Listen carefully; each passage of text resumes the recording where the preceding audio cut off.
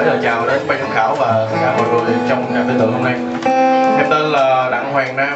Ờ, em ờ, đang học ờ, đại học tôn đức thắng và ngành quản trị kinh doanh. Rất đẹp trai thưa các bạn. Không biết hát có hay không chúng ta cùng xem nha.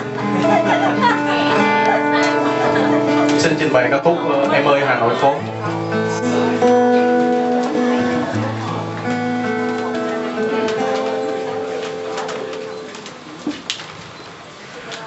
em ơi, hà nội phố,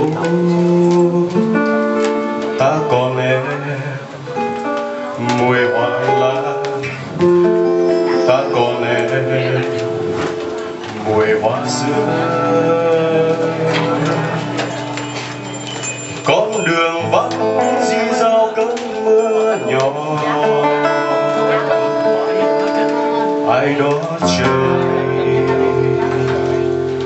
Con xóa vai mềm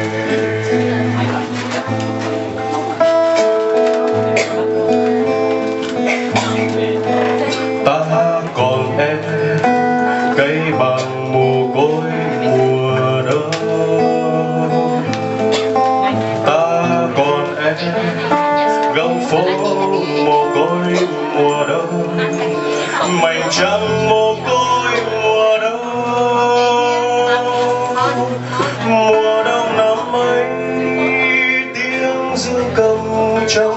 nhớ các nhà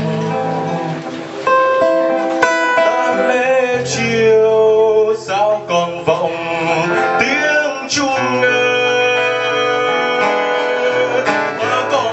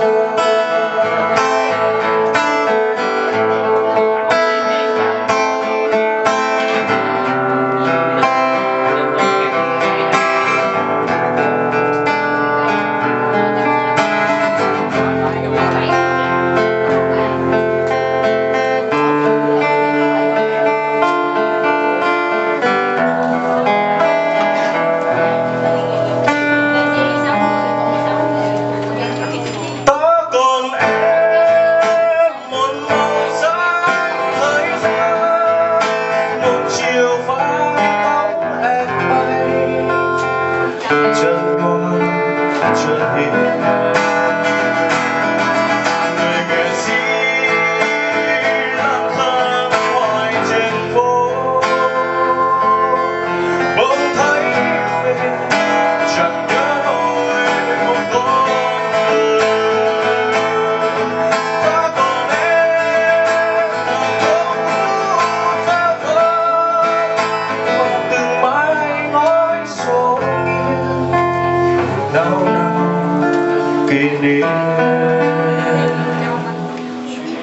chiều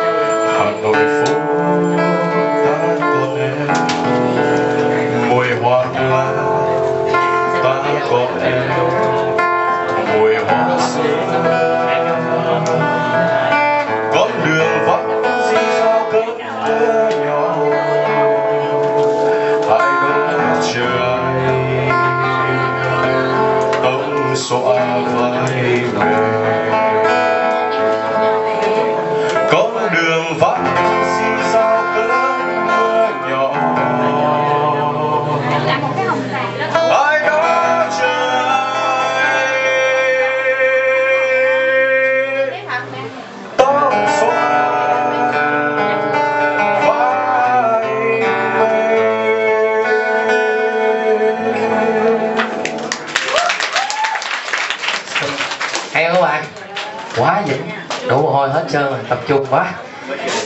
Phước. Mới mới chơi xong rồi. Xin mời phần ánh sáng của em khảo. Xin mời ca sĩ có long ạ. À, xin chào vâng bác Khang ạ. À. thêm một Chào tên đẹp nữa. Nhưng mà tên của bạn thì dễ nhớ hơn. À, đây là hoàng nam anh ơi. Thí sinh bác khang đang ra ngoài đón ờ, gia đình rồi. Hoàng Nam ạ. Hoàng nam 083 à, xin lỗi bạn ạ. Bạn à, Hoàng Nam. đúng đầu tiên mà đăng ký bằng chân tình ạ. dạ đúng rồi. À, không sao tên bạn Hoàng Nam cũng đẹp chứ không có xấu à, à, thì bạn hát bài à, một bài về Hà Nội. À, à, mình thấy là nó có cái cái không khí Hà Nội trong cái cách hát của bạn và mình nghe nó có cái sự tình cảm cái sự lãng đãng và, và, và nhẹ nhàng của một cái không khí Hà Nội à, mình thấy là bạn chọn cái bài hát vừa rồi cũng khá là phù hợp. À, cái cái giọng hát của bạn thì nó có một cái sự tình cảm và sự ấm áp ở trong đó và cái tóc dáng của bạn cái ngoại hình của bạn thì à, rất là sáng sân khấu. Nhìn nói chung là nếu mà cái bạn có cái sự hề hữu cái áo dáng cái khuôn mặt này thì bạn đã có thể là một người ca sĩ rồi. À, thì à, à, nhà, tuy vẫn còn những cái bài những cái khuyết điểm trong giọng hát của bạn chẳng hạn như là những cái chỗ bạn lên cao thì cảm giác nên nó hơi bị mệt nhọc một chút. Nó chưa thực sự thoải mái và chưa thực sự là mình đang biểu diễn. Xin lỗi bạn xin lỗi. Nếu như mà bạn đi thi mà bạn giống như bạn đang biểu diễn chứ không phải là bạn đang thi thì cái mức độ thành công nó sẽ cao hơn. Thì mình nghĩ là mong là những lần sau thì bạn sẽ à, có những cái cái, cái đầu tư và có những cái sự cố gắng hơn nữa trong cái phần cái bài thi của mình cảm ơn. Còn đến với cuộc thi thì học thi vui là chính đúng không? Học hỏi là 10 không sai sao? Thôi xin mời chị Hoàng Diễm ạ. À, chào bạn Hoàng Nam. Thì uh, giọng của bạn nhưng mà bạn chọn bài này rất là phù hợp. À, à, mình thấy là khi bạn hát thì anh à, anh anh anh, anh. Ngọc.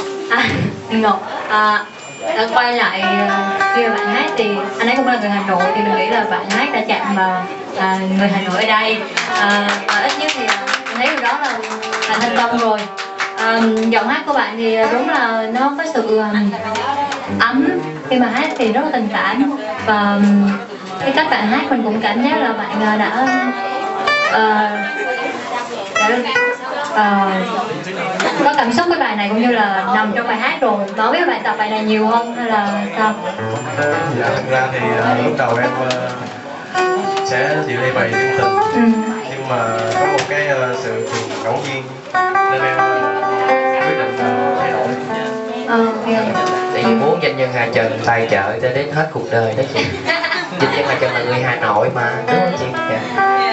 À, về còn về trang phục của bạn thì đôi khi tôi cũng ghen, ghen tị với các ca sĩ nam tại vì chỉ cần một cái quần jean đen hoặc là một cái áo là cũng đã thành một bộ đồ Quá đi đồ. trình diễn rồi à, và đúng là bạn cũng Đô kìa, cơ bắp nhìn giống đi Đức khác có cái mặt thôi. à, chúc mừng bạn đã thể hiện thành công bài hát cảm ơn. Vâng, cảm ơn chị Hoàng Diễm. Xin mời danh nhân Hà Trần chắc chị sẽ có rất nhiều lời khen dành cho anh chàng này không ạ? Ừm, trước tiên thì chị cảm ơn em. Em đã chọn một cái bài hát ờ, về Hà Nội về quê hương của chị. Nhưng mà cho chị hỏi là tại sao em lại chọn cái bài hát về Hà Nội thực ra thì Trả lời lại đi. thực ra thì em đã một lần ờ, gần đây ờ, em tình cờ em đi Bị thương gái Hà Nội phải không? Giống tôi. à, em tình cờ nghe được một người bạn hát lại và em cảm thấy rất thích nên em quyết định thay đổi bài hát Ờ, Ờ, chị cũng ờ, hy vọng là cái câu trả lời của em không giống như gợi ý của MC Terry Trương ha? Có nghĩa con là trai mà em khoái con gái chị trời khổ ghê. Bạn thấy bạn thấy con trai không? Em um, chọn một bài hát về Hà Nội và qua một cái bài có có qua một cái lần nghe chị uh, rất là ghi nhận cái cái này. Có nghĩa là cái cái cảm xúc trong công âm nhạc của em rất là nhiều. Và khi mà hát một cái bài hát về Hà Nội không phải người nào cũng hát thành công được nó có một cái sự lắng động một cái cái một sự sâu lắng mà chị thấy em đạt được cái điều đó. Và chị cũng xin chúc mừng em bởi vì chị rất thích nghe em hát bài này. Chút nữa đi nhậu nha xin mời kỹ sư đầu chồng em ơi em ờ, người Hà Nội không? Có phải người Hà Nội không? Dạ em gốc là nam định gốc Nam Định ăn thịt chó Nam Định con phải không? Em ra Hà Nội bao giờ chưa dạ chưa. Trời ơi vậy là đúng như giống như nhà văn gì viết điện biên phủ mà chưa từng đến điện biên phủ bao giờ em muốn hát em muốn hát giọng Hà Nội hay à, bài hát gì Hà Nội hay em phải ra Hà Nội tại em biết. Hà Nội mà nói tới Hà Nội người ta nhớ ngay đến mùa gì không? Mùa gì đẹp nhất ở Hà Nội biết không? Vào mùa thu. Thấy lên sân khấu em hát đổ mồ hôi giống như đang ở giữa mùa hè Hà Nội. Lần sau đi hát mà quan sát trước nghe chở cà phê tượng mà không đủ lạnh đó mình gắn liền cái máy lạnh ngay sân khấu mình chơi luôn cho nó rải lá lá vàng rơi dưới giống như mùa thu luôn. Không người dẫu sao nói vậy thì ý nói là em hát quá hay đó hiểu không? Rồi hẹn gặp lại em trên chung kết nha vâng cảm ơn kỹ sư đầu chồng rất nhiều. Cảm ơn bạn. Sư bạn đổi video kia một chàng trai